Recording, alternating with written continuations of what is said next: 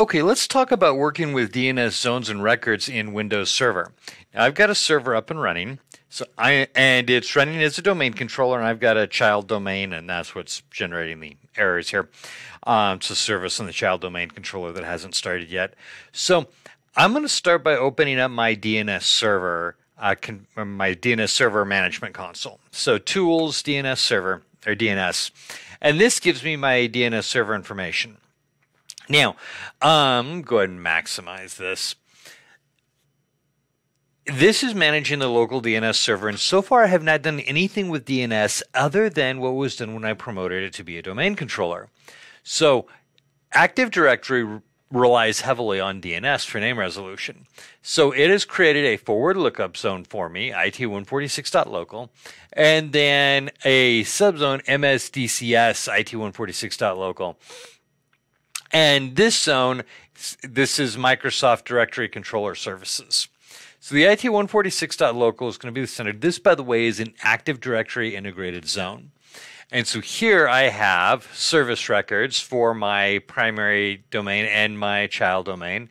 And then I have my name server record, my uh, resolution for that for the domain, and then my server two. Now, all of this stuff was created automatically when I promoted this thing to a domain controller and then created the child domain and created the, a domain uh, controller for that as well. This is an Active Directory integrated zone, which means it's automatically going to manage records. So when I join devices to the domain, this zone will automatically update with that information. So I need to do very little to this unless I want to set some static records. Now I can create additional zones in here, and we're going to do that in a minute. But I also want to show you this. This is our forward lookup or reverse lookup zone. So a forward lookup zone is going to take a name, in this case server2.it146.local, and it's going to resolve it to an IP address. A reverse lookup zone does the opposite. It takes an IP address and resolves it to a name.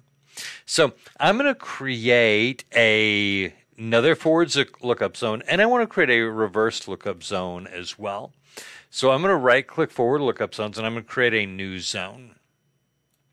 And click next, and I can choose which type. So, a primary zone, a secondary zone, or a stub zone. A primary zone, this is going to be a zone that I can uh, directly access from the server. Secondary zone means that I've got a copy of this zone somewhere else, and the zone is just going to be a bunch of records for my DNS. Uh, the secondary zone will basically create a copy of the uh, primary zone, and I'm going to direct uh, directly update things on the primary servers. So this is done kind of for load balancing and fault tolerance. And then I can choose where I want to store this. By the way, Stub Zone creates uh, only holds NS records, Start of Authority records, and glue records. Um, the idea is the stub zone is not authoritative, it points you to the servers for that actual zone. So, stub zone basically is like a way of directing traffic that comes to this to the correct zone. And then I can choose to store this in Active Directory if I want to. Um, this is not always available. Notice it says it's only an option if the DNS server is on a writable domain controller. So in this case, I'm going to go ahead and leave that checked. So this sets my zones types. This is what I want if I'm creating a new uh, new zone for new name resolution records. This is to add a secondary one for load balancing, and that kind of acts to direct traffic to the right location. So most of the time, what we'll find out for our first, for creating a new zone with new uh, records, we're going to want a primary zone. So I'm going to click next. And then because I told this thing to store an Active Directory, this defines how it's going to be replicated to Active Directory. So to all DNS servers running on the domain controllers in this forest, to all DNS servers in this domain, to all domain controllers, I'm going to go ahead and say all DNS servers, and I'm going to click next. Now, the other option, by the way, is to store it not in Active Directory, but in a zone file. So I'm going to set the domain name, and I'm going to create an alternate domain name. This is going to be demo.local because I don't feel very creative at the moment. So I'm going to create a demo.local and then I can define how I want updates to happen. So dynamic updates, this is what we need if we're supporting Active Directory. So allow only secure uh, dynamic updates. I can also choose to allow both non-secure and secure dynamic updates, but this creates kind of a security vulnerability. My other option is no dynamic updates. Now, if I do this, I have to manually put in all the records that I want it to hold. And in this case, that's actually what I want to do. Um, think if I'm doing an internal DNS to manage name resolution in my local network, this makes a lot of sense. If I'm managing it for outside, if I'm setting up a DNS zone for outside name resolution, so clients trying to, or not well, remote clients that are not part of my network trying to find servers or resources in my domain, then I'm going to do do not allow dynamic updates because I want to have direct control over that.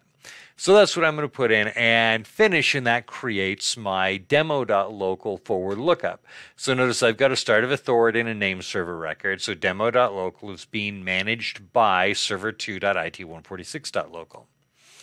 Now I want to also create a reverse lookup zone. So this is going to be for reverse lookups. So somebody has an IP address they want to find the name associated with. That's what I'm going to use a reverse lookup zone for. So I'm going to right click and create a new zone. It's a very similar thing. Primary, secondary, stub zone, store an Active Directory. Um, how do I want it replicated? Same thing we saw before. And then I, here it's where things diverge. Do I want this to resolve IP v4 addresses or IPv6 addresses. And I want a v4, so I'm going to leave it there and click next. Now, I need to specify the network ID. So here I'm putting in the IP address that um, I'm going to want to do reverse lookups for. And so this, my IP address on, let me actually bring up back to Server Manager here real quick. If I go to configure this local server, I'll see my IP address range of 10.1.1.11. So that's my IP address. My network is going to be 10.1.1. So if I want to do reverse lookups for this network, it's going to be 10.1.1. And then here's going to be the reverse zone name. I can go ahead and leave that, or I can change that. Not really any reason to. And then again, how are we going to do uh, updates? So dynamic, uh, secure, dynamic, secure, and non-secure, or no dynamic. And I'm going to do no dynamic here. And I'm going to click next and finish. Now this creates my reverse lookup. So now I have a demo a demo zone and a reverse lookup zone. So let's say I was creating a website, a web record for www.demo.local. Now, practically speaking, this would not be a .local, but it could be, right? I could be running an internal website on a .local domain, but you might be doing this for an outside uh, website, a publicly accessible web address with a com or edu or uh, org or some kind of top level domain like that. It's going to work the same way regardless of what the domain na- name is. So I'm going to right click and create a new record. Now here are several different types I can create. An A record is a name to an address. Quad A is the same thing, but it's for IPv6 addresses. A C, uh, C name is an alias. So it resolves a name to another domain or another name. Uh, mail exchanger identifies an MX record, and then we've got other types of records we can create too. So mail exchanger, MX records, this is how we find uh, mail servers. So I'm going to do a simple host name here, and I'm going to do this. I'm going to put my web server, it's going to be on something called Web1. So I just put the name. Notice it automatically puts the .demo.local because that's the zone I was in when I started creating this. And I'm going to resolve that to 10.1.1.11, which happens to be my IP address. Now, if I want to create the PTR record, that's here. Now, the PTR, this is a pointer record. It's going to be created in the reverse lookup zone. So I'm going to go ahead and click Add Host. And that adds my A record. Now I'm going to come back to this in a minute, but now I have Web 1 10.1.1.11. So if I go to my command prompt and I ping web1.demo.local, it will resolve to 10.1.1.11 because that's what I created here, and it'll ping it and it will work just fine. Now, if I look in my reverse lookup zones, I now have 10.1.1.11 is a pointer record to web1.demo.local. And that's what happened when I said, hey, create the reverse pointer record. Now, let's say I wanted to be able to use www.demo.local. Well, at the moment, I can't resolve that. So what I'm going to do in this case, and I could do change this to a www, but what I want to do instead is I want to create a CNAME record. So a CNAME is going to be an alias. So I'm going to create a new alias, and it's going to be for www. And again, notice it automatically populates .demo.local. But here, instead of setting an IP address, I'm going to set a name, web1.demo.local. And this alias then will allow me to use www, which will resolve to web1.local.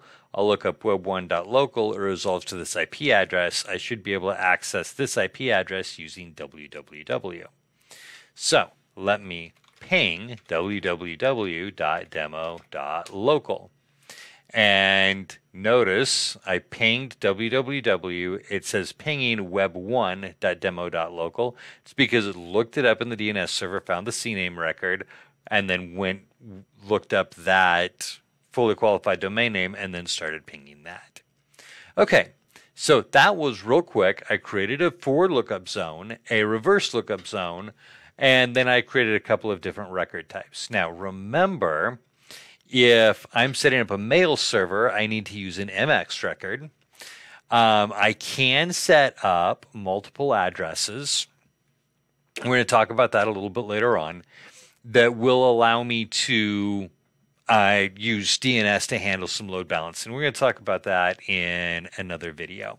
So there's your introduction to configuring DNS zones and records in uh, Windows DNS Server.